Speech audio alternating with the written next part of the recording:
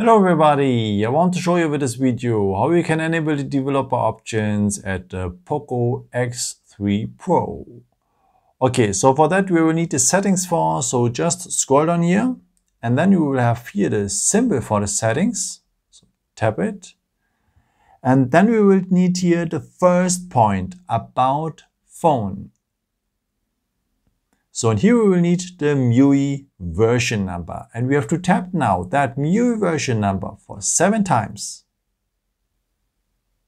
So at the end you will see a countdown there and uh, now we are a developer for the phone. So just go back now one step so that you're back in the general settings. And now we have to scroll down to the point additional settings here. And now we will have here at the end the developer options. So now you can do the stuff you wanted to do, may uh, enabling the USB debugging or the stay awake mode or may other services here. And uh, yeah, if you're ready with, you can also disable the developer options here at the top. Just tap here.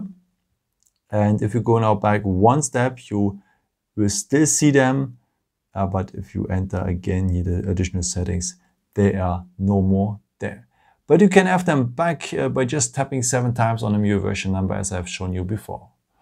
Okay, yeah, that's it. I hope I could help you with this video and answer your question.